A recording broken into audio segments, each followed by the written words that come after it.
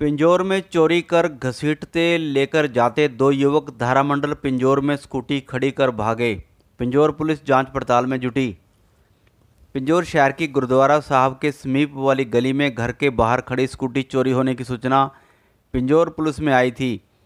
इस संबंध में दो युवकों पर स्कूटी को घसीट कर लेकर जाते सीसीटीवी कैमरे वाली वीडियो फुटेज भी दिखाई गई थी, जो बाद में खूब वायरल भी हुई। वहीं इस सीसीटीवी कैमरे की वीडियो फुटेज भी पिंजौर पुलिस के पास है। पिंजौर निवासी विक्की जैन ने शुक्रवार को बताया कि उनकी स्कूटी घर के नीचे खड़ी थी, चोरी हो गई थी, जिसमें दो लड़के उनकी स्कूटी को घसीट कर ले जाते सीसीटी, सीसीटीवी कैमरे में दिखाई दिए थे। जिसके बाद चोरी हुई, स्कूटी धारामंडल पिंजौर के सड़क के किनारे खड़ी मिल गई है। स्कूटी पाकर विकी जैन बेहद खुश नज़र आए। ele fez teu papel como Tupi को ये आगरदारा मंडल में। मुझे केतन भाई की बाइक मिली।